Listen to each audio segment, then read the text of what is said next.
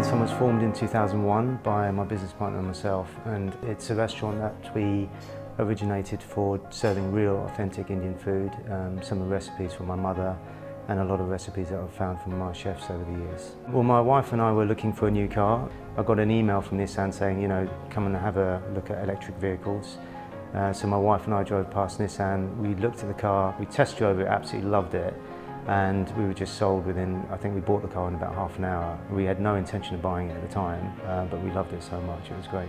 When I first bought the vehicle, there were you know, four or five charging points in town and they are promoting the use of it, so it fits quite well. Well, the 30 kilowatt um, gives me a lot more confidence in doing my day-to-day -day job. I mean, the original one never really tested this in range anxiety because of how we use it. But now I'm a lot more confident in, in promoting what we do here and also the range and more confidence in, in how to use a vehicle. The idea before I had the Leaf, I was wanting to do a sort of delivery service based on the Mumbai tiffin service. It's been the original idea for many, many um, husbands and people who go to work to have their lunches in a tiffin. So the idea to do a non-plastic packaging, something that can be recycled and actually is quite attractive to, to have at home as well, tied up with a zero emission delivery service, I thought fitted quite well.